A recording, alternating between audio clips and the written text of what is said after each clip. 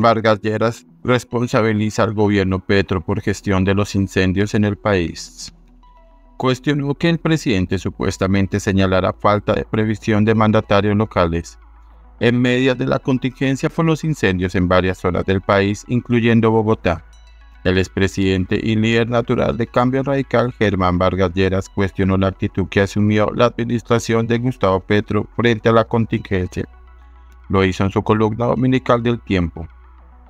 En ese sentido, expresó que la ley que establece el Sistema Nacional de Gestión de Riesgo de Desastres señala que la gestión integral del riesgo le corresponde al gobierno central y que el nivel local debe coordinarse y complementarse a este.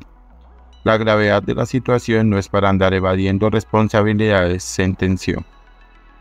Ante la situación de la última semana, el ex vicepresidente recordó que había las suficientes alertas y pedidos por distintos entes, incluyendo la Procuraduría, para fortalecer el sistema de gestión del riesgo.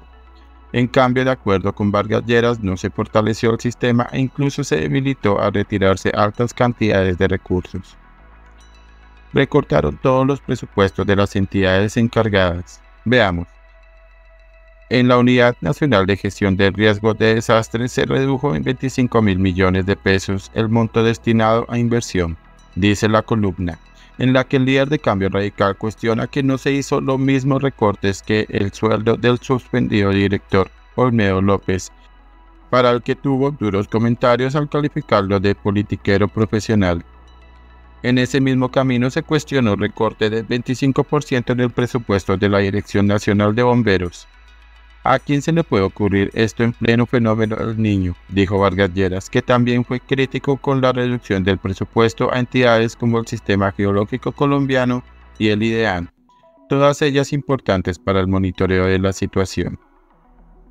Los cuestionamientos cuestionaron exponiendo el caso del hasta hace unos días comandante del Cuerpo de Bomberos capitán Arbey Trujillo, fue relevado de su cargo en plena emergencia y quien, de acuerdo con el ex vicepresidente, salió del cargo por sus quejas ante las faltas de recursos.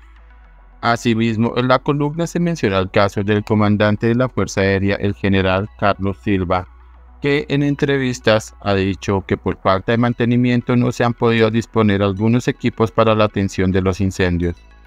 Solo falta que por esta sinceridad también lo llamen a calificar servicios, añadió.